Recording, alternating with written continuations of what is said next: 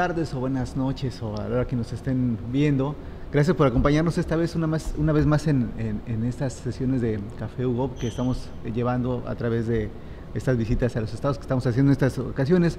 Hoy estamos con René Campos, quien es director de Innovación Gubernamental en la Subsecretaría de Innovación y Modernización Tecnológica Gubernamental del Estado de Baja California.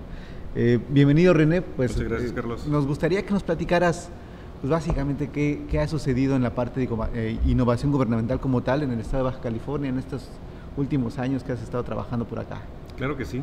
Eh, pues como te comentaba, eh, es, una, es un reto que se enfrentó, de una iniciativa por parte de esta administración, directamente el secretario de Planeación y Finanzas, y a través de nuestro subsecretario Leonardo Esparza, que quisimos ir un paso más atrás en lo que viene siendo la aplicación de la tecnología, tratando de buscar la innovación y entendiendo que la innovación no necesariamente pues es hablar de tecnología, ¿no? Claro. Nos empezamos a dar cuenta que varios de los aplicativos, de los servicios que estábamos ofreciendo a través de nuestros productos, estaban teniendo observaciones y siempre atribuidas a que eran los sistemas. Cuando hacíamos una revisión nos damos cuenta que en muchos de los casos no era propiamente el sistema, sino la misma operación o este, la misma logística, la parte del proceso claro, tal, claro. Este, igual los pasos, los requisitos, ¿no? Entonces es por ello que, que, se da este, esta creación. este, habilitamos un área de mejora de procesos, pero que precisamente lleva esa parte, ¿no? O sea, de, de, escuchar la necesidad de, nuestro cliente, de nuestro usuario interno, del mismo externo, el ciudadano. Y de alguna manera, o sea, verificar ayudarle a la misma, hablando de los internos, ayudarle a la misma dependencia, a darnos cuenta si realmente este, ante esa situación es una problemática que el origen o la solución va a ser lo que ellos están solicitando, claro.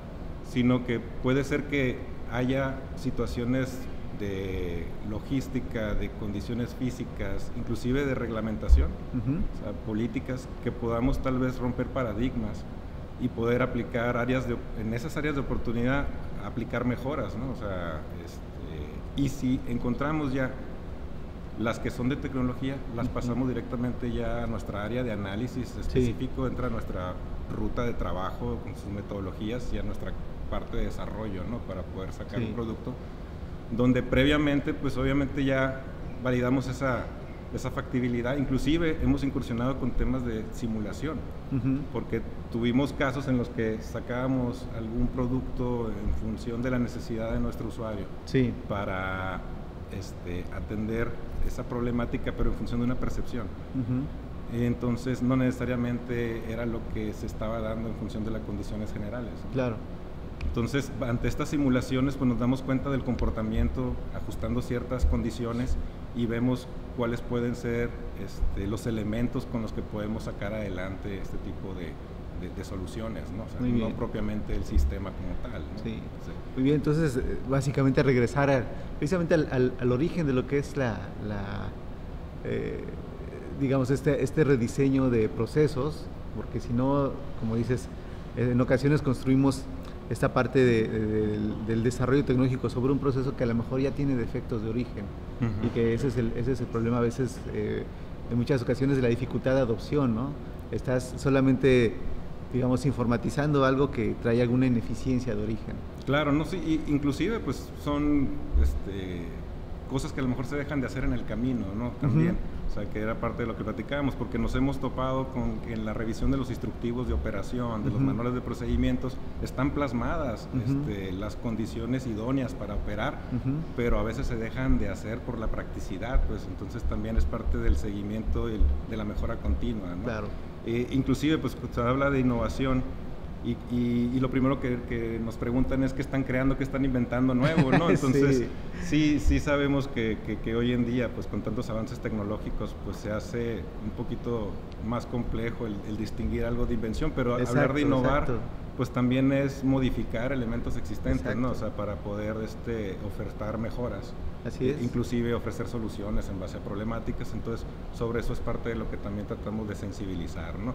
Y, sí, sobre todo, tratar de, identificar elementos de medición pues, que nos ayude a administrar, o sea, para poder medir, o sea, y poder ofrecer una mejora en función de una medición.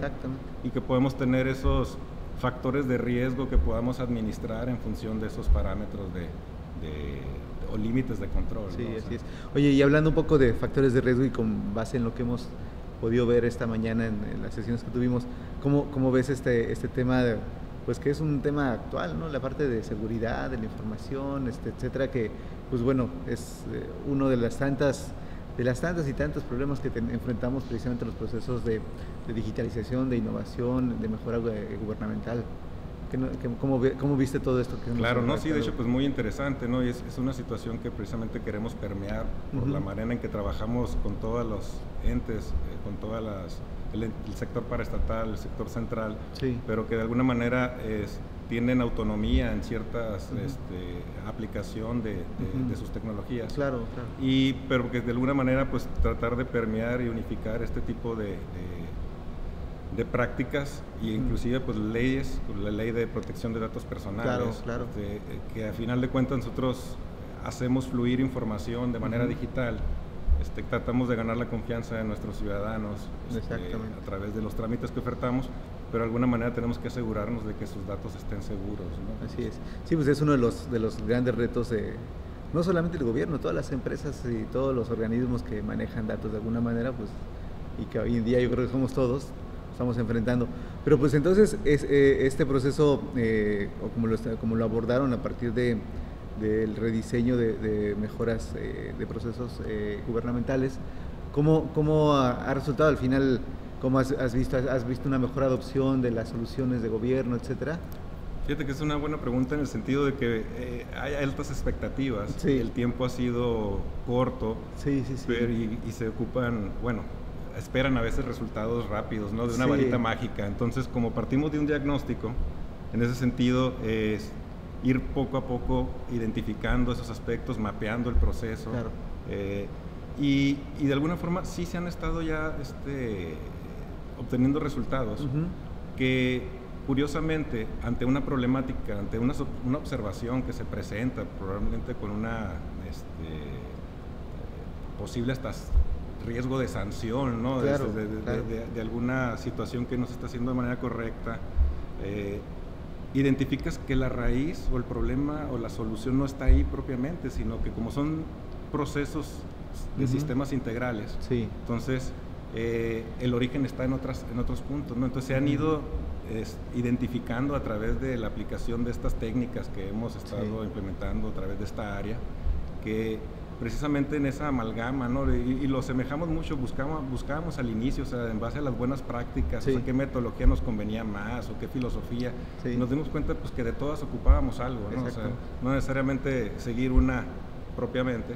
Y sí encapsulábamos mucho en, la filosofía del, del, administrador del producto, ¿no? O sea, el product manager, product management, donde precisamente se hace esa unión de ser, tener al especialista o al experto del negocio, tener al, también a los especialistas o expertos en la tecnología y propiamente escuchar las necesidades de tu cliente, ¿no? Entonces, e, esta, esa unión la hemos estado este, promoviendo y la tenemos integrada en esos departamentos que conforman la, la, Dirección de Innovación para poder enfrentar y, y, dar soluciones en ese sentido, ¿no? Este, entonces, dentro de los resultados, como te comentaba, ya tenemos hacia lo interno algunas mejoras que se han derivado, no propiamente en mejoras de sistema, y estamos trabajando en soluciones hacia, hacia el exterior, ¿no? Tenemos ahí este, cocinando algunas eh, importantes que son reinventar parte de lo que ya estamos ofertando, como el trámites hacia la ciudadanía, en control vehicular, por ejemplo, y algo, algo más, más este, ambicioso, ¿no? También que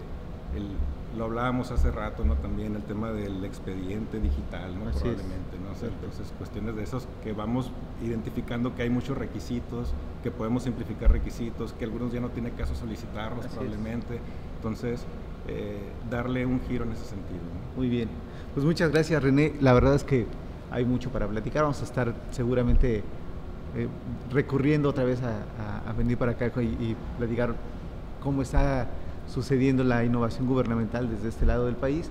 Y pues muchas gracias nuevamente, muchas gracias, a por, por, acompañarnos y pues estamos eh, en un café Hugo más, eh, después nos veremos en otro más seguramente. Gracias. Gracias.